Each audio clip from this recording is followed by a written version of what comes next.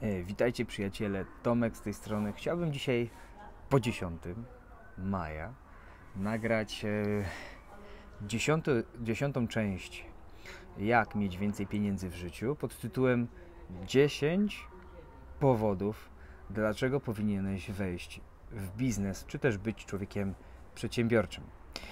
Po pierwsze, e, w dziewiątym odcinku powiedzieliśmy sobie, że jest to Boże powołanie dla każdego wierzącego. Więc pierwsze prim, znaczy zerowe primo, taką podstawą, zanim wejdziemy w te 10 punktów, potrzebujesz zrozumieć, że Bóg chce, aby każdy był przedsiębiorczy. Ucz się od Jezusa. Patrz. Jezus miał zespół apostolski, tak? I teraz kim był Judasz? Czy Jezus nosił ze sobą pieniądze? Nie. A skąd je miał? Judasz miał, w sensie nadzorował. Zespół finansujący Marta, Ewangelia Łukasza. Marta, Maria i inne kobiety, które uwolnił od demonów, przynosiły mu pieniądze od Heroda. Mamy rozmnożenie ryb. Zapomnieliśmy wziąć ryb i chleba. Mamy tylko kilka sztuk. Czyli ktoś nadzorował pożywieniem, tylko nie ogarnęli, ale nadzorowali. Nie Jezus, za wszystko odpowiadał sam i wszystko ogarniał sam. Miał do tego zespół ludzi. Był przedsiębiorczy. Osioł. Ty przynieś tam osła, będzie tam i tam zaparkowany. Czyli co? Jezus miał samochód służbowy, nowiutki, niejeżdżony. Grób. Kto kupił grób Jezusowi? Przedsiębiorca. Widzicie? Chodzi o to, że przedsiębiorczość to stan umysłu. To stan umysłu człowieka, który potrafi zorganizować sobie życie wokół siebie. Człowiek Boży, każdy, potrzebuje potrafić zorganizować sobie życie wokół siebie pod względem finansowym, rodzinnym, zespołowym, ogólnie. Jezus był przedsiębiorczy, umarł za nas na krzyżu i zmartwychwstał miał inną misję, gdzieś szedł w innym kierunku, miał swoją usługę dla nas. Ale to nie znaczy, że tak jak w filmach gdzieś to widzimy, te rzeczy są pomijane, że tam sobie chodził, no i dobra, ale skąd mieli też lokum? Ktoś załatwiał w ogóle lokum, e, kolację, tak? Przyrządź to i to. To była praca zespołowa, więc e, Jezus po prostu tym wszystkim zarządzał. Więc potrzebujesz zrozumieć, że to jest bardzo ważne, że Bóg chce, aby każdy był przedsiębiorczy, ponieważ Bóg w swojej naturze jest przedsiębiorczy, a Ty jesteś Jego dzieckiem jako wierzący, więc w Tobie jest przedsiębiorcza zdolność. Każdy ma swój poziom, ale jest. Aleluja.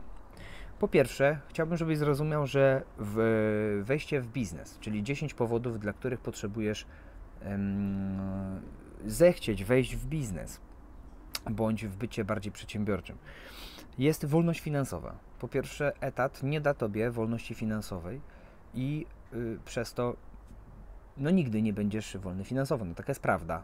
Na etacie nie ma takiej, praktycznie nie ma takiej możliwości. Jest bardzo mały promil ludzi, którzy dostępują wolności finansowej na etacie i wtedy też dzięki temu będziesz mógł Boże marzenia, które Bóg wykonuje w tobie, wzbudza w tobie, bo Bóg daje pragnienie i chęci, wykonywać. Bez pieniędzy nie wykonasz swoich marzeń. No to prosta prawda. Nie wykonasz i koniec. Będziesz zblokowany. Drugie. Będziesz uczestnikiem, a nie widzem. Będziesz mógł realnie ustanawiać standardy. Człowiek przedsiębiorczy naprawdę realnie ustanawia standardy. Ma wtedy dostęp do ludzi, y, rządu, y, różnego typu y, ludzi i wtedy będzie mógł być człowiekiem standardu. Nie tylko tym, któremu narzucany jest odgórny standard. Oczywiście nie mówię, że na początku tak będzie, ale tak może być. Trzecie. Nie możesz być zwolniony. Ani też nikt odgórny nie może ci obciąć premii. Dlaczego? Bo ty jesteś głową. Myślę, że tego nie trzeba tłumaczyć. Czwarte. Twoja rodzina potrzebuje finansów do życia. Ludzie często narzekają na kobiety najczęściej, bo one tak boją się, potrzebują tej wolności finansowej na zasadzie zabezpieczenia finansowego i często chrześcijanie mówią: Ty jesteś materialistką. Nie, nie jest materialistką. E, żona kobieta ma taką naturalną w sobie, takie naturalne coś, co Bóg zrobił, że potrzebuje mieć bezpieczne gniazdo. A zatem jednym z powodów, dla których jest bezpieczna, ogólnie to jest Bóg, wiadomo. Ale generalnie, jeśli chodzi o życie cielesne, są to finanse. Dlatego też, jak będziesz miał biznes, to wtedy będziesz mógł w końcu żyć w dobrej, na dobrym poziomie, a nie ciułać od 10 do 10, prawda? Nie mówię, że może to od razu, nie od razu, mm, że będzie to lekko, nie lekko, nie, nie o tym teraz mówię, ale jest taka możliwość i to jest wyższe prawdopodobieństwo. W ogóle największym ryzykiem, jakie możesz podjąć, to praca na etacie, ponieważ tam jesteś skazany na to, żeby ci się nie udało. Więc odpada, w ogóle odpada. Ja generalnie jak zacząłem pracować, to albo pracowałem za granicą, albo miałem własną działalność, tak? Albo w systemie MLM mi taki, taki model biznesu odpowiadał. 5. Wysyłasz mocny impuls do społeczeństwa. Widzisz, możemy dużo mówić o wierze, tak? Jak być człowiekiem wiary, jak iść do przodu, jak to, jak tamto. A później co? Na etacie ciłasz za 3000, tak? I ledwo masz do 10. I to jest właśnie życie z wiary, tak? No bez sens. No i teraz po, potrzebujesz zrozumieć, że moje nauki, które, które może robisz, może nie, więc zachęcam, żebyś robił, to one wzbudzą w tobie y, tą wiarę, a ta wiara od razu da ci powera do tego, byś wiedział, że jesteś przedsiębiorczy i będziesz wiedział, co z tym zrobić. Więc wtedy ludziom nie musisz tłuc do głowy, jak to masz wielką wiarę. Po prostu zobaczą twoje życie, że ogarniasz. Yy, no właśnie, jest bardzo ważne. Szóste. Stajesz się realnym światłem dla świata. Człowiek przedsiębiorczy realnie świeci. Widać jego zorganizowane życie, zdyscyplinowane. Widać to, że chociaż popełnia błędy, tak, jak każdy człowiek, ale idzie do przodu. E, realnie możesz wpłynąć na ludzi. Tak samo jak masz pracowników, to przykładowo możesz wpływać mentalnie także na ludzi, y, dając im wyższą pensję niż ktoś inny, dbając o nich lepiej niż ktoś inny. I będą Cię chwalić, i będą się pytać dlaczego, a Ty będziesz im mógł głosić Ewangelię. Jest to niesamowity wpływ, tak? Oczywiście, będziesz też zwalniał częściej niż ktoś inny, ponieważ będziesz miał wysokie standardy, bo nie będziesz się bał zwalniania ludzi, więc rozumiesz. Stajesz się realnym światłem. 7. Stajesz się zyskiem dla regionu i kraju. Owszem, będziesz płacił podatki, no i co z tego, wiesz? Jezus powiedział: Oddajcie cesarzowi to, co cesarza. Nie uciekaj od tego. Zarabiaj tyle, żeby po odjęciu wszystkich dziesięcin do kościoła, ofiarności do kościoła, podatków, ZUS-ów, jeśli w ogóle będziesz płacił, chyba że założysz spółkę jakoś to sobie pomijasz, to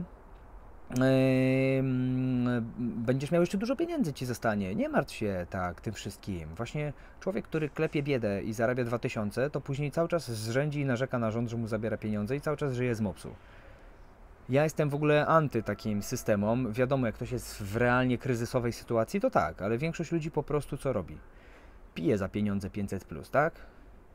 Lub, y, lub robi inne rzeczy.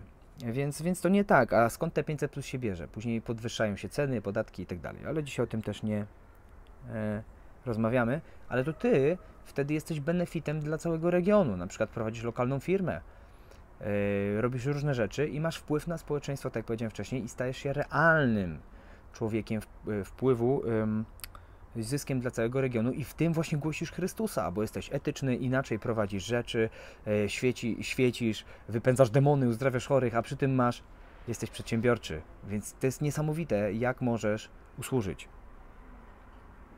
Bo dla mnie jest bez sensu, że każdy by chciał się stać apostołem, prorokiem, ewangelistą i tak dalej. Jest to ok, jest to e, e, potrzebne, ale pamiętajcie, że to jest wszystko zespół. Jeżeli wszyscy byli apostołami, to kto by ich ogarniał w ogóle, wiesz, kto by, kto by, nie wiem, ich utrzymywał na przykład, albo mieliby pracę, jak to niektórzy mówią, no bez sensu to jest. Jak mieliby pracę? To jest praca. Ktoś przywołuje tutaj e, Pawła jak namioty robił. Paweł robił namioty tylko przez pierwszy okres, później już nie robił namiotów. Wiesz, jak się służba rozpędza, to nie ma czasu na to. I gdyby każdy chciał być taki, no to jest też to jest niepotrzebne.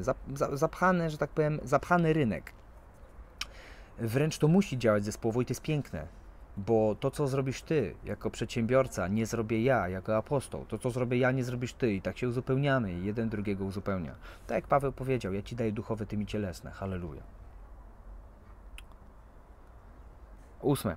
Rozwiniesz wpływ nad ludźmi, czyli troszeczkę wyprzedziłem już, czyli stajesz się zyskiem dla regionu i rozwijasz realny wpływ na ludzi. Ludzie, którzy widzą Ciebie jako człowieka przedsiębiorczego, po prostu mają u Ciebie autorytet. Rozwijasz realny wpływ. Pomagasz im, e, swoim pracownikom i tak dalej, i tak nie?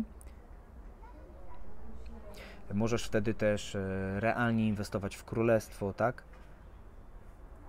Realnie większe kwoty, ponieważ jesteś przedsiębiorczy, zarabiasz pieniądze i wiesz po co to robisz, wiesz, że nie bierzesz tego ze sobą e, do piachu, rozumiesz te rzeczy.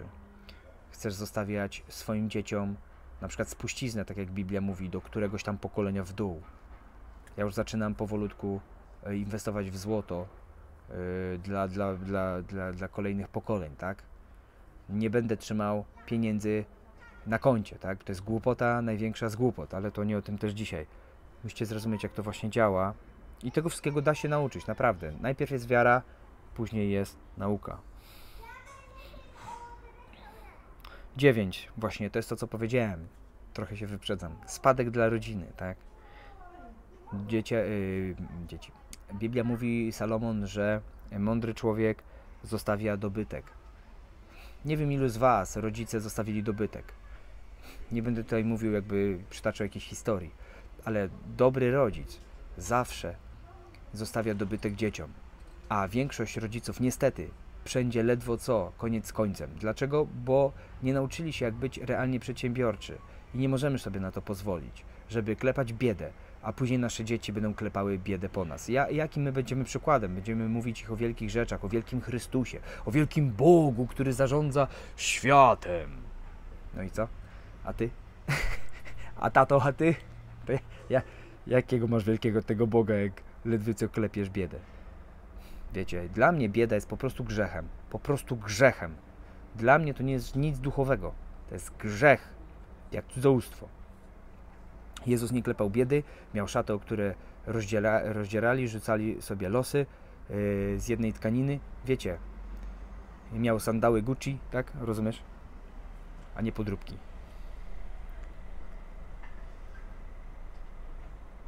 Dziesiąte. Będziesz zaopatrzycielem realnym i liderem domu. I to da Tobie ogólny szacunek w społeczeństwie, ponieważ ludzie znowu będą widzieli, że ogarniasz. To tyle w tym odcinku. Pozdrawiam serdecznie. Dobrego rozważania. Podejmij decyzję, aby stać się człowiekiem przedsiębiorczym i wejść w biznes. Cześć.